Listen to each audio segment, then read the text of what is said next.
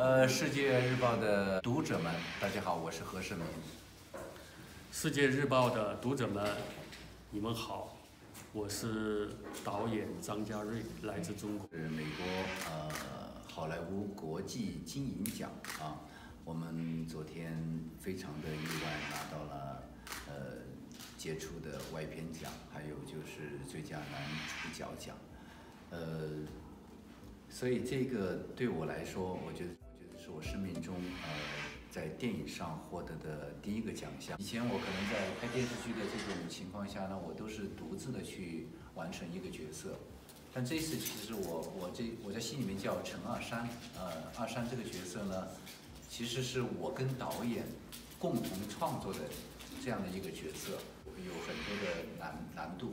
因为他从一个大学生，就是在导演导演告诉我说，这个人其实很简单，他是一个他是从一条狗变成了狼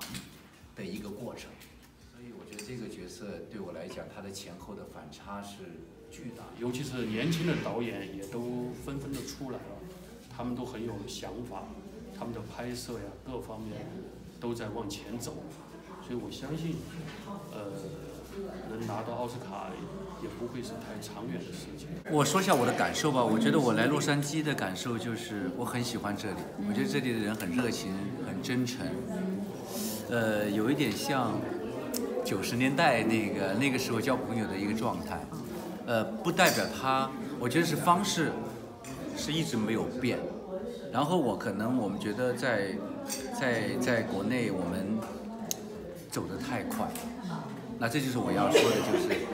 有时候你会迷失自己，你会找不到自己。呃，因为互联网可能就是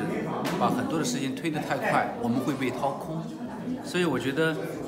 去做公益，有有时候我工作结束之后，我去做做公益，去去说去做一些就是帮助别人的事情。其实说帮助别人，与其说帮助别人，还不如说帮助了自己。